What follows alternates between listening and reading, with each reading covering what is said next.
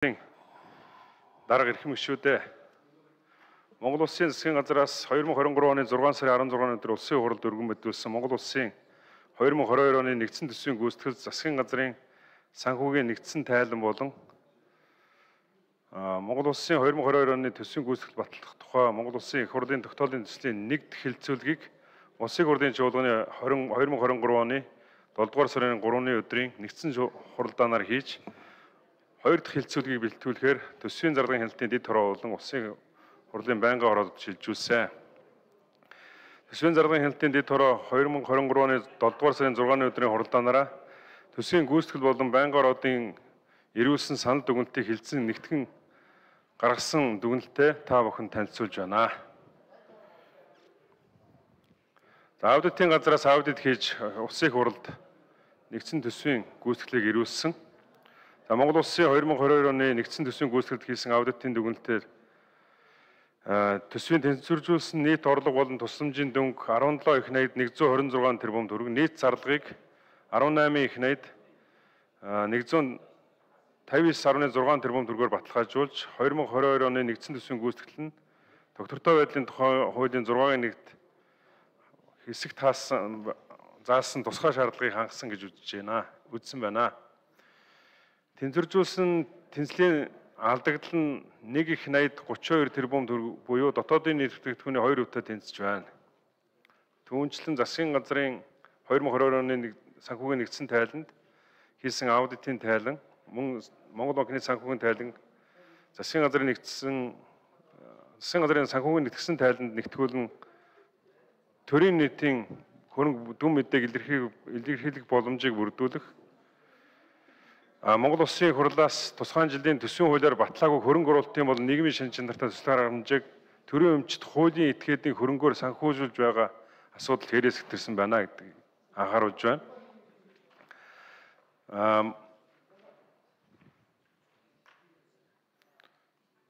За байнгын ороод бүх төсвийн гүйцэтгэлийг хилцэж санал дүгнэлтээ зарлагын дэд хороонд хөргүүлсэн.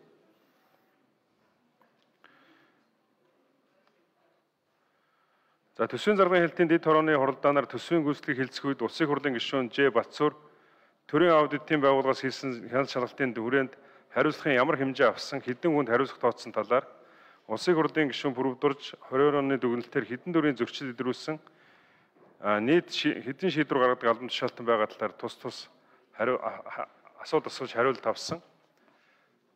2022 оны төсвийн гүйцэтгэлээр нийтдээ 5 их найд төгрөгийн санхүүгийн зөрчил гарсан байгаа. Тэнд бол нийт 6 6100 6618 одоо наа дөрөв авдаг. төсвийн гүйцэтгэл дээр гар үсэг зурдаг албан тушаалтан байна. Нэг албан тушаалтанд ойролцоогоор 60 5 тэрбум төгрөгийн 800 800 сая төгрөгийн зөрчил нэг албан тушаалтан дээр ноогдож байна. 800 сая.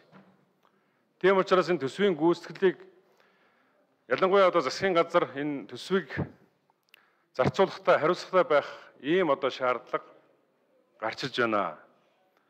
Тийм учраас энэ төсвийн зарлагын хяналтын дэд хороогоор Монгол Улсын засгийн газрын Монгол Улсын ерөнхий сайд оюун эрдэнэд энэ аудитын байгууллагаас өгсөн шаардлагын хүрээнд албан тушаалтнууд хариуцлага хүлээх одоо шаардлага хөрвүүлдэг боловч албан тушаалтнуудыг хайцаалдаг ийм байдал бол маш их байна. Аудитын байгууллага хуулиараа шаардлага хөргүүлнэ. Хариуцлага тооцох албан тушаалт нь бол тухайн одоо ерөнхийлөгчийн захирагч нар байдаг. Гэтэл энэ одоо нэг нэгэндээ барьцаалагдсан энэ хүмүүс хариуцлага тооцох боломж ерөөсөө байхгүй байна гэдэг ийм дүгнэлт гаргасан. Тийм учраас төсвийн зарлагын хэлтийн дэд хорооноос нийтдээ 23 аж ахуй нэгжид 3 их найд төрний санхүүгийн зөрчил гаргасан байгаатай холбогдуулан тэр хүмүүст албан тушаалтнууд заавал хариуцлагыг 9 сарын 1-ний дотор тооцох ийм одоо албан бичгийг хөргүүлж байгаа. А мөн түүнчлэн Монгол Улсын 2022 оны төсвийн гүйцэтгэлтэй холбоотойгоор улсын хурлын тогтоолын төслийг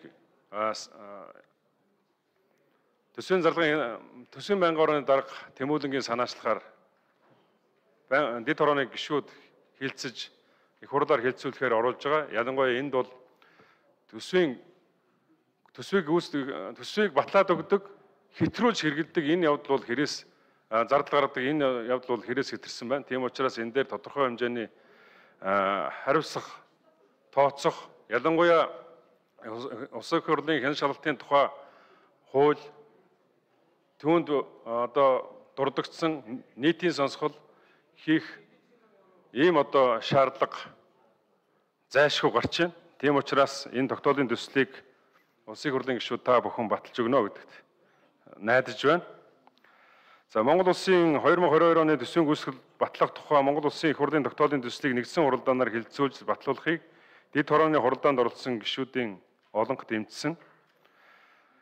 Түүнчлэн төсвийн зарлагын хэлтийн дэд хорооноос төрийн аудитын байгууллагаас гаргасан дүгнэлт дурдсан зөрчлүүд хариуцлага тооцох албан арга хэмжээ авахыг засгийн газар чиглэл өгөх албан тоот хөргүүлэхээр тогтсон.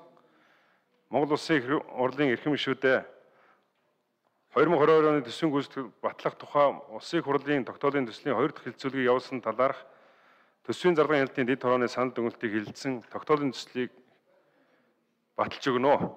Анхаарал тавьсанд баярлалаа. За зочид